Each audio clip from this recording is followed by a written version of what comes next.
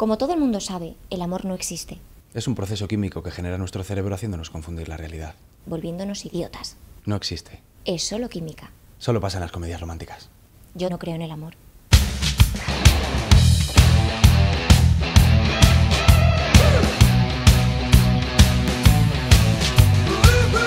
Solo química. Una comedia romántica para todos aquellos que no creemos en el amor. Estreno en cines en 2015.